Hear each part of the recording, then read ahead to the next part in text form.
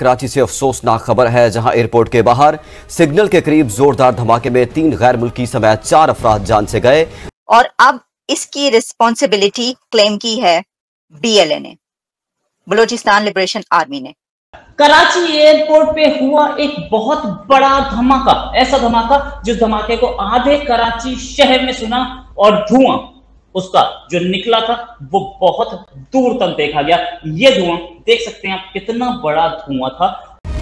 चीनी सफात खाने की कराची एयरपोर्ट के करीब धमाके की मजम्मत। धमाके में दो चीनी बाशिंदे हलाक और एक जख्मी हुआ। ये बताना है चीनी सफात खाने का क्वेश्चन ये है कि क्यों चाइनीज़ को क्यों बलोच मिलिटेंट्स टारगेट करते हैं पाकिस्तान के अंदर और चाइनीज़ को क्यों टारगेट किया जाता है? दे वांट पहली बात तो यह है कि they want to internationalise the issue China through CPEC शायद पाकिस्तान को अपना एक क्लाइंट स्टेट टेरिटरी की तरह बना रहा है। तो उसके खिलाफ काफ़ी बैकलैशेस हुए हैं। पाकिस्तान में दहशतगर्दी किस तरह करवाते हैं? इंडिया वाले रॉ के ज़रिए और अब तो पूरी दुनिया में एक्सपोज होते चले जा रहे हैं। अब चाइनीज़ टारगेट होंगे अब थोड़े दिनों बाद एस e की कॉन्फ्रेंस है पाकिस्तान में। आप क्या समझते हैं? और ऐसा लगता है कि लोगों में ये घबराहट बढ़ती चली जा रही है। तमाम लोग ये सवाल पूछ रहे हैं कि अब क्या होगा? सूरत किस तरफ़ जाएगी? एक अजीब जो है वो पाकिस्तान में कन्फ्यूज़न पैदा हो चुकी है। जो ये बीएलए की जानब से अटैक किया गया है इस पर दहशत गर्दों को मुँह तोड़ जवाब देने के लिए हमारी फोर्सेस भी तैयार हैं लेकिन ये दहशत गर्दी नाकाम क्यों है हम इसको कंट्रोल करने में?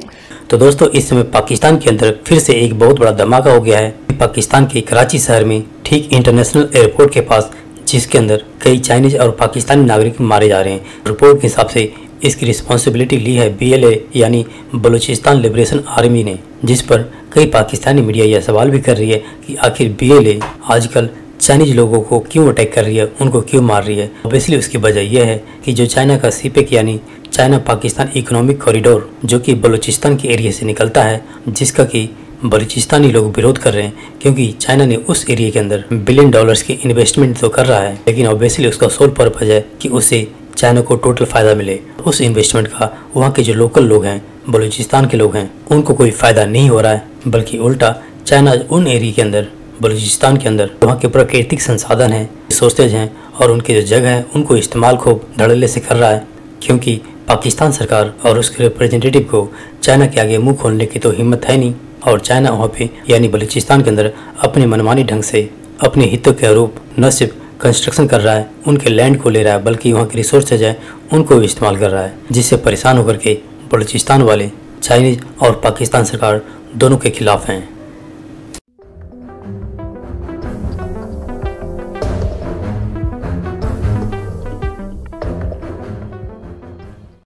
दोस्तों, एक बड़ा इंपॉर्टेंट डेवलपमेंट हुई है कि चाइनीज़ जो हैं, उनको टारगेट किया गया है कराची, पाकिस्तान के अंदर। तकरीबन चार लोग जो है जिनकी जाने चली गई जिनमें दो चाइनीज़ हैं।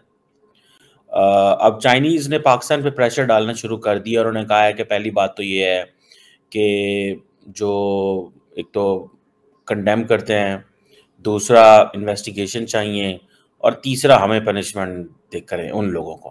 क्वेश्चन ये है कि क्यों चाइनीज़ को? क्यों बलोच मिलिटेंट्स टारगेट करते हैं पाकिस्तान के अंदर और चाइनीज़ को क्यों टारगेट किया जाता है? दे वांट पहली बात तो यह है कि they want to internationalise the issue दूसरी बात यह है कि वो समझते हैं कि अगर चाइनीज़ को टारगेट करेंगे तो इन्वेस्टमेंट नहीं आएगी। पाकिस्तान की तरक्की का रास्ता रोको। अब चाइनीज़ टारगेट होंगे, अब थोड़े दिनों बाद एस की कॉन्फ्रेंस है पाकिस्तान में। आप क्या समझते हैं? अब ये जो बलोच लिबरेशन आर्मी है, बीस साल की वो कह रहे हैं, जी, हमारी इनकी स्ट्रगल है। पाकिस्तान की फौज के खिलाफ, हुकूमत के खिलाफ, अवाम के खिलाफ लड़ रहे हैं जी वो। जिसे वो कहेंगे ना रोज कोई ना कोई बंदे मारते हैं। पंजाबियों को टारगेट करते हैं चाइनीज़ को टारगेट करते हैं, जिससे पाकिस्तान की मिलिट्री एस्टेब्लिशमेंट को वो समझते हैं कि दबाएँ, उनको कमज़ोर करें। कि मुझे यकीन करके माने, मैं अभी एक इंटरनेशनल फ़्लाइट लेके पाकिस्तान आ रहा था तो जहाज़ में सारे पाकिस्तानी एक ही गाल कर रहे थे। पाकिस्तान के हालात बड़े ख़राब हो गए हैं वहाँ पर तबाही हो गई है, ये हो गई है। जब सड़कों पे जो नज़र आएगा तो दुनिया ने परेशान तो होना ही है। लोगों ने तो कहना ही कहना है, यार, अब तबाही की वो जिसे कहते हैं ना हालात बुरे हो गए, हालात ख़राब हो गए। लोगों ने तो कहना ही कहना है? जब लोगों, लोग हमें मैसेज करते हैं दुनिया से ये क्या बन रहा है यार वहाँ पे? सुने ऑप्टेक्स ठीक नहीं है वहाँ पे, क्या हो रहा है? सियासतदान इस मुल्क को आग में झोंक रहे हैं। इनकी तस्कीन ये है कि मुल्क में आग लगे। वहाँ दहशत गर्द आपके ऊपर हमले कर रहा है। बहरल अब ये जो चाइनीज़ पे आपने टारगेट कर दिया है, जी जी बलोच जी liberation army B L A BLA यार कैसे काम कर सकती है जब तक उसके पास पैसा ना हो? यूएस डेजिग्नेटेड टेररिस्ट ऑर्गेनाइजेशन है। ठीक है सुइसाइड बॉम्बिंग करती है पूरे पाकिस्तान के अंदर। वो एक हमारी है, पाकिस्तान से मारूम बलोच साहबा। वो भी यही करती है, जी मसले को इंटरनेशनलाइज करना है। वो क्या करती हैं कि वो जो दहशत गर्दाना हमला होते हैं, वो इसको तो कंडेम नहीं करती। इसके ऊपर वो इतना को कह देंगी कि हम वायलेंस के खिलाफ हैं। अब हमारा ये है कि इनकी बस बिज़नेस रुकना चाहिए पाकिस्तान के अंदर। चाइनीज़ प्रीमियर पाकिस्तान आ रहे हैं ग्यारह साल बाद प्राइम मिनिस्टर सुने ग्यारह साल बाद चाइनीज़ प्राइम मिनिस्टर पाकिस्तान आ रहे हैं। मुझे बात बताएँ, आप उनको क्या मैसेज दे रहे हैं चाइनीज़ प्राइम मिनिस्टर को? यही मैसेज दे रहे हैं। ये मैसेज है बाकियों के लिए। जयशंकर कल को कह सकता है पाइन मेरी जो है ना वो लॉ एंड ऑर्डर सिचुएशन ठीक नहीं है, हम हम ऑनलाइन ज्वाइन करें। एक बात है। क्वेश्चन ये है कि सबको पता है कि स्टेट की बड़ी कैपेबिलिटीज और पावर्स होती हैं। क्वेश्चन ये है कि इससे तो कोई नहीं होता ना कि जी कि हम जो है वो हालात ठीक नहीं है तो ये तो हम आएँगे नहीं तो हम वो, ऐसे तो कोई नहीं करते। बहरहाल क्वेश्चन ये है, मुझे जो चीज़ बड़ी परेशान करती है, वो आपकी पॉलिटिकल अनसर्टेनिटी है।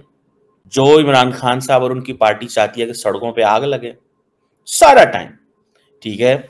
और जो आपका दहशत गर्द है, वो चाहता है कि चाइनीज़ को मारो, फौज को टारगेट करो, अवाम को, पंजाबियों को टारगेट करो, अवाम को टारगेट करो, ताकि हालात खराब हो। और लाला लाला फाड़ लो फाड़ लो हो जाए हम बैठ के सोच के बैठे हुए थे, बासठ अरब डॉलर की इन्वेस्टमेंट आएगी, पचास अरब डॉलर की इन्वेस्टमेंट आएगी चाइनीज़ आएँगे ट्रांसफॉर्मेशन हो जाएगी, ये हो जाएगी, वो हो जाएगी।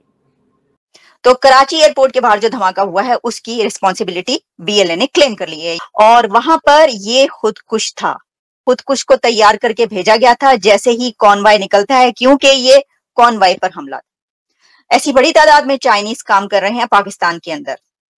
तो ये जो हमला था, ये जैसे ही वो कॉनवाई वहाँ से निकलना था, यानी उनकी जो गाड़ी है, वो वहाँ से निकलनी थी। और इसमें यह है कि कार सवार खुद कुछ हमला आवर उस कॉनवाई के निकलने का इंतज़ार कर रहा था और काफिला, ये जो कॉनवाई है, ये पहुँचते ही जो खुद कुछ ड्राइवर था तो उसने अपनी गाड़ी अपनी गाड़ी से ये लगता है कि वो खुद ड्राइव कर रहा था। गाड़ी गैर मुल्कियों यानी कि फॉरेनर्स की गाड़ी से टकरा दी। अच्छा अब चाइना की तरफ़ से इसके ऊपर स्टेटमेंट आ गई है कि इसको कंडेम किया है। चाइना ने और कहा है कि वहाँ पर पाकिस्तान के अंदर जो चाइनीज़ मौजूद हैं, उनकी सिक्योरिटी और सेफ्टी को मेक श्योर किया जाए। और साथ ही चाइना ने एक और डिमांड कर दी है। चाइना ने ये डिमांड की है कि वो पनिशमेंट चाहते हैं। ये जिसने ये किया है, उनको सजा दें। यानी उनका कहने का मतलब यह है कि उनको पकड़ा जाए। अब सजा कैसे दें? वो तो खुद कुछ है। वो तो जा जाके फट रहे हैं। चाइना को तो ये पता होना चाहिए कि वो जो बलोचिस्तान के अंदर जो ग्रुप्स हैं, वो किस तरीके, कैसे करें? वो तो मतलब आपको पता ही है कि क्या कर रहे हैं।